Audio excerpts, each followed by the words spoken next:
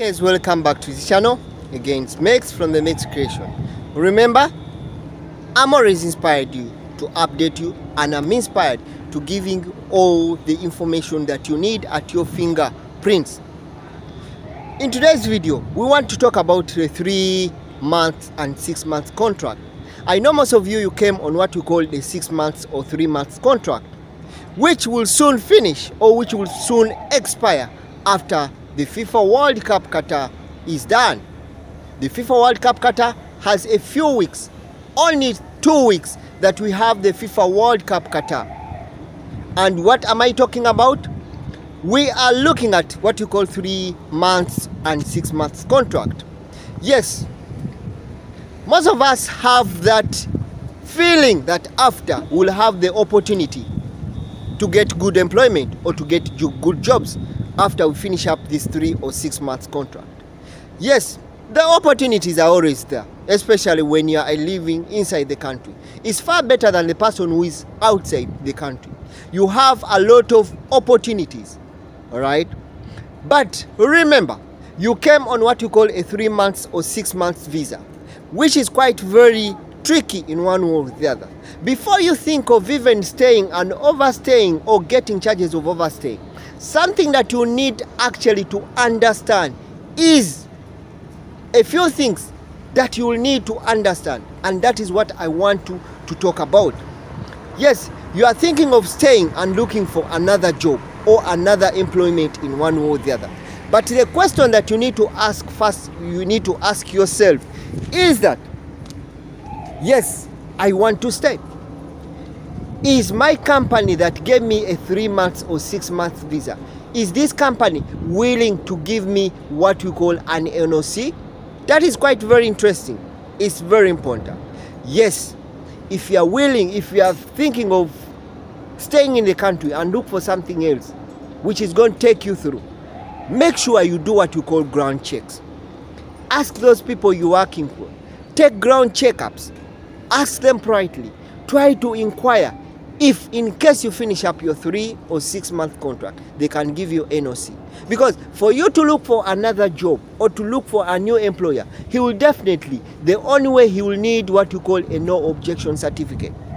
Otherwise if your company fails to give you a no objection certificate the only option you have is the new company that is willing to give you a job is to make you exit.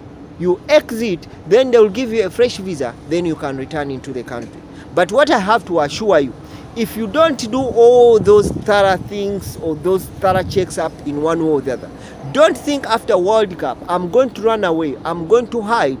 Yes, definitely. They will have to take you back to your home country. So take that as very important. Then something that you need definitely also need to understand is in case you got a new company, in case you've gotten a new company, is that company, will that company be willing to sponsor me to come back in the country? Yes, if you get to an agreement and this company is willing to sponsor you back to the country, then that is well and good. You'll have to exit, then you'll have to come back. Okay? Then, something also people don't try to look into consideration is what is that contract that you sign with this company? Yes, we are looking at these contracts. This, this contract allow you to look for another new job, which is quite very important. But if this contract does not allow you to look for another job, then that means you'll have to exit the country. It will mean that you'll have to exit at whatever cost, you'll have to exit the country.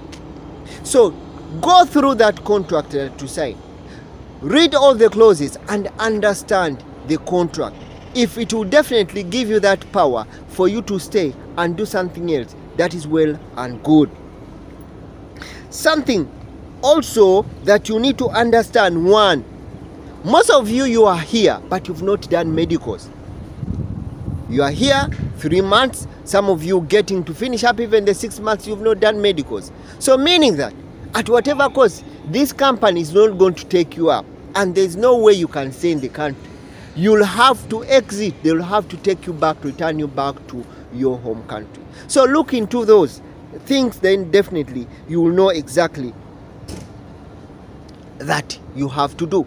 Then some of you you're here and something that you cannot understand. Some of you have not even gotten what you call cat id some of you are working three months or six months you've not got cat id and remember if for example you have a, a residence permit it will probably be a very good way or it will be one of the easiest it will be one of the uh, ways to uh, to to change drastically from one company to another in case you get someone who is willing to take you up because already you have the residence permit with you.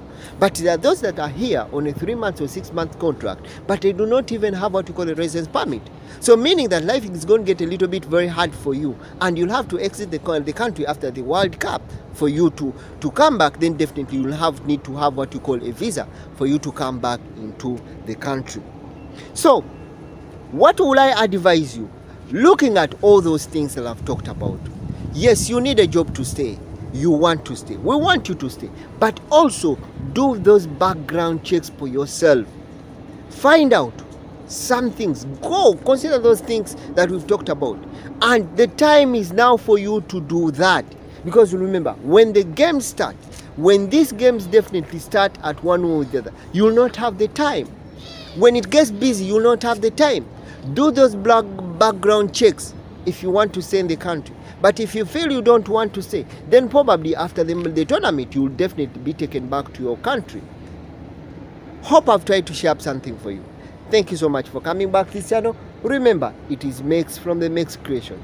If it's your first time to come across this channel, please consider supporting and subscribing to this channel. By the way, don't forget to hit the subscribe button. You'll always be updated wherever I upload a new video. Thank you so much. See you again in the next video. It's Mex from the Mex Creation TV.